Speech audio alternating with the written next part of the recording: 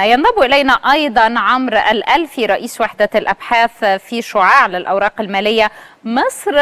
عمرو مساء الخير. وإذا تحدثنا من الناحية المالية فيما يتعلق بغاز مصر إلى أي مدى يعني حدث أو يعني إلى أي مدى استعانت الشركة بمعايير محددة لتقييم الاستثمارات؟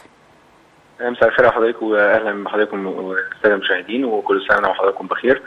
حضرتك طيب لشركة غاز مصر يمكن زي ما أستاذ وائل لسه كان بيتكلم إن الأعمال التشغيلية بتاعتها بتخسر ولكن اللي بيزود الأرباح بتاعت الشركة هي توزيعات الأرباح وليست فقط إن هي بتستثمر ولكن الاستثمارات اللي هي عندها بتوزع لها أرباح ويتم تضمينها ضمن القوائم المالية و قائمة الدخل وبالتالي بيبقى فيه أرباح.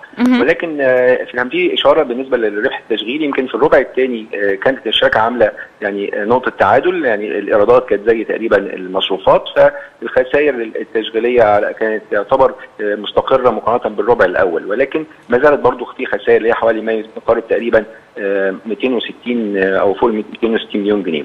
الاستثمارات بقى اللي هي بتبقى عندها هي عندها استثمارات في شركات كثيره ويمكن دي كان في تقرير من الجهاز المركزي للمحاسبات وكان في رأي متحفظ إن هو بيقول أو في على الأقل في استنتاج بيقول إن هو في بعض الاستثمارات اللي الشركة بتملكها بتملك فيها ما بين 10% ل 49% ولكن هناك بعض الاستثمارات اللي هي المتاحة للبيع يفترض ان بما إن أنت حتى لو ما عندكش يعني رد الشركة بتقول أنا بعملها بالقيمة الإسمية ساعة ما دخلت في هذه الاستثمارات وبالتالي أنا ما بعملهاش بالقيمة العادلة. ولكن حسب القانون أو المعايير المحاسبية إنه لازم يعملها بالقيمة العادلة لو هو عنده والقيمة العادلة هنا هي القيمة السوقية؟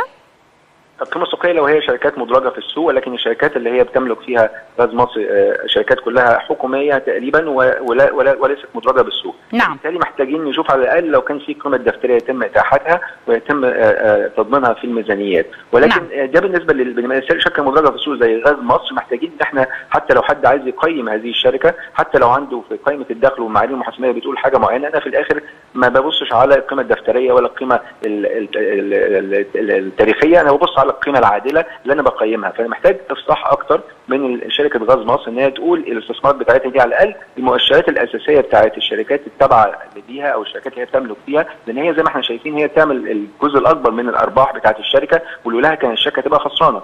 فبالتالي إحنا محتاجين نعرف افصاح أكتر عن الشركات عندهم على سبيل المثال 15% في شركة جاسكو ودي شركة تعتبر شراكة بينها وبين شركة القبض الغازات اللي عندها 70% فيها و15% نعم. أخرى من شركة بتروجيت فمحتاجين افصاح أكتر لهذه الاستثمارات اللي بتجيب لها توزيعات أرباح حوالي ربع مليار مليار جنيه في السنة.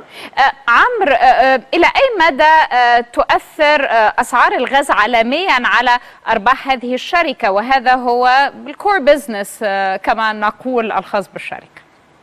زي ما تم ذكره برضو ذكره برضو إن هو إن الإيرادات بتاعت الشركة أقل من التكلفة بتاعتها. يمكن الأجور عالية يعتبر ولكن الأجور اللي هو يمكن علشان زيادة التوصيل للغاز، شركة غاز مصر بتعمل إيه؟ بتوصل غاز للقاهرة واسكندرية ومحافظات مصر المختلفة ومؤخرا كان في معدلات نمو مرتفعة في هذه المناطق وكمان في الدلتا.